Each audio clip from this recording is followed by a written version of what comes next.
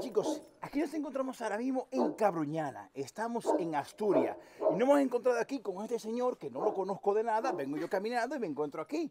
Y digo, quiero saber si hay osos y cómo es la situación del oso y del lobo aquí. Bueno, ¿cuál es su nombre? Severino. Severino. Bueno, pues yo soy Jordi Toms, Enca- encantado. encantado. Bueno, pues Severino, tengo mucha duda. ¿Cómo es el oso y el lobo? ¿Hay lobos y osos por aquí? Sí, porque tenemos el monte aquí cerca, o Sí. sea, 3, 4 kilómetros hay, hay de todo. Wow. Hay zorros, hay de todo. Sí, Naturaleza zorro- total. Zorro vi que me atravesó uno Ya, en la carretera. exacto, exacto. Pero entonces sí es verdad que hay lobo ibérico en esta Sí, zona. sí, sí, sí. Wow. Y, y el tema del oso, me, me- me hablaste de que había un, una Había- osa por han aquí. avistado una osa a unos 3 kilómetros de aquí que tenía su cría y todo. Wow.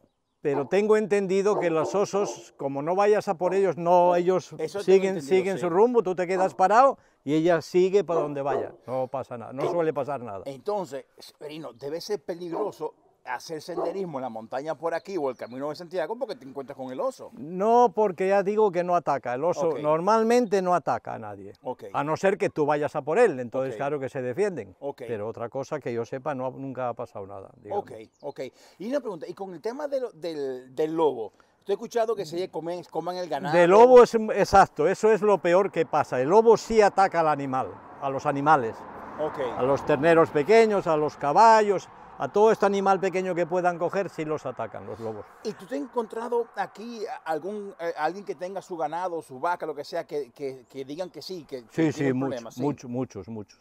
Mucha Oh. gente, mucha gente. Ahí mismo, para ir para el Fresno, un pueblo de aquí a tres Sí. kilómetros también. A donde, hay- donde dormimos esta noche, hay- chicos. hay- hay, eh, ahí hay, ahí hay gente que le han devorado animales, el lobo.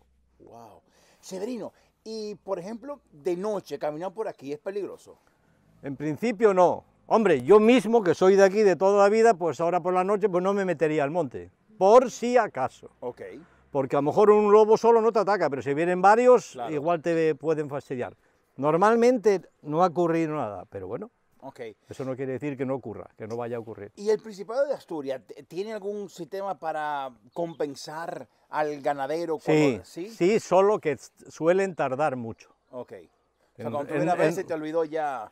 Recuperar, no sé, igual pasan dos años y no, no te han recuperado, o sea, no te han dado el, el dinero que sea. Ok, ok. Y era una pregunta. Tú estás, a, porque hay dos corrientes, los que están en contra del oso y en contra del lobo ibérico y los que están a favor. ¿Tú estás en contra o a favor? No, yo a favor del, del oso sobremanera, porque estábamos Sí. quedando sin ellos y ahora parece ser que vuelve a haber osos. Sí. De lobo, pues ya no digo, ya no digo tanto, porque es un poco más, más eh, salvaje y es Sí. más peligroso, pero Ok. pero el oso ni- sin problema. Ok.